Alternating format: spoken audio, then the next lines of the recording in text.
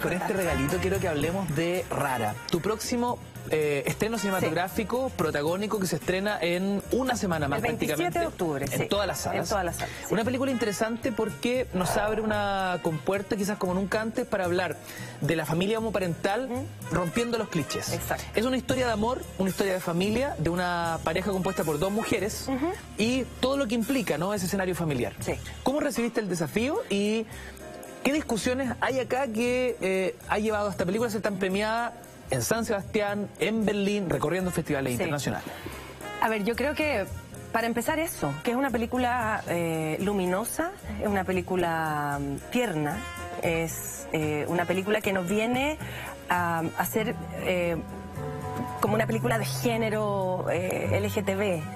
Es una película que habla de una familia como cualquier otra y lo interesante que tiene que el, el punto de vista lo toman las hijas. Mira. Esta no es una película de adultos, no es una película de tribunales, de justicia, porque está inspirada En el caso en Tala. el caso Atala y en muchos más casos que han, que han habido en Chile.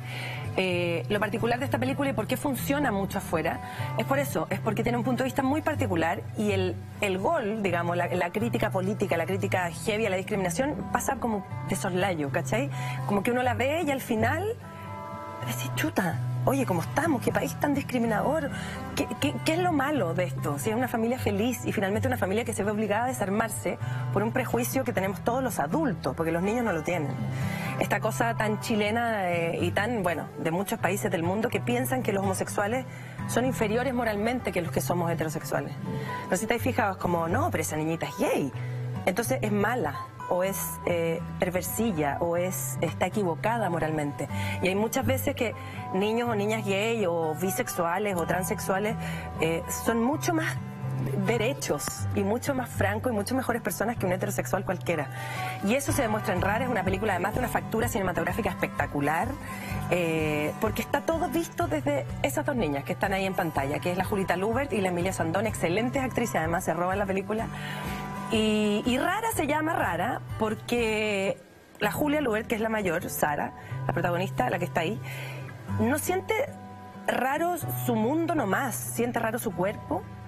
eh, está cambiando su cuerpo, probablemente le llegó la regla hace muy poco, le gusta un niño que no la pesca, pero que sí, eh, tiene estas dos mamás que a ella le parece, siempre le pareció como bien, hasta que empieza a entrar el prejuicio social, hasta que el papá eh, hasta que se sale de madre, hasta que esto ya no es, eh, no es solo una familia homoparental a puertas cerradas.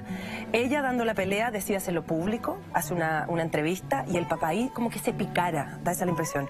Esto yo no quiero que lo sepan mis amigos, yo no quiero que lo sepa la sociedad, yo no quiero que lo sepan en el colegio. Empieza, ese es el tabú El tabú y el prejuicio se adulto convierte en, eh, en herramienta en la piedra de, lucha. tope.